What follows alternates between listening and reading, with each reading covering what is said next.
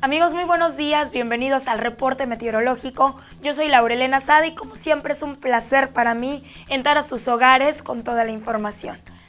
En esta ocasión el huracán categoría número 5, denominado Irma, continúa su desplazamiento, ya está afectando algunas islas del Caribe y se prevé que esté impactando este fin de semana en Florida. Se esperan inundaciones, lluvias intensas y deslizamientos de algunos sectores de la tierra. Por supuesto que los mantendremos muy bien informados.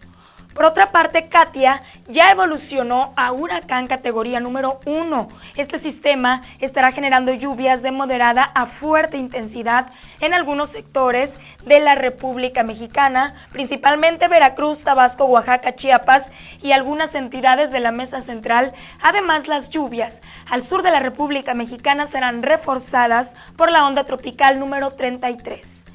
Demos ahora un breve recorrido por todo el país para conocer las temperaturas actuales. Guadalajara, Jalisco registra una condición de cielo parcialmente despejada, Chihuahua 17 grados, el termómetro para Monterrey, Nuevo León es de 18 grados centígrados y Acapulco, Guerrero mantiene una temperatura de 26 grados. Sobre Sinaloa predominan condiciones de cielo parcialmente nubladas para esta mañana. La Perla del Pacífico este próximo sábado, domingo, lunes y martes estará registrando condiciones de cielo también parcialmente despejadas. En Culiacán, los valores de temperatura los próximos días estarán oscilando desde los 24 grados hasta los 38 grados a la sombra. La sensación térmica continuará superando los 40 grados centígrados. En Guamúchil se esperan mínimas de 24 máximas de 38 grados centígrados. En Guasave una condición de cielo totalmente nublada en estos momentos.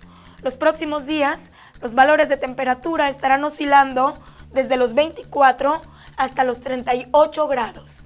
Y ya sobre el sector de los mochis, los valores de temperatura en general estarán variando desde los 25 grados centígrados hasta alcanzar temperaturas máximas de 37 grados.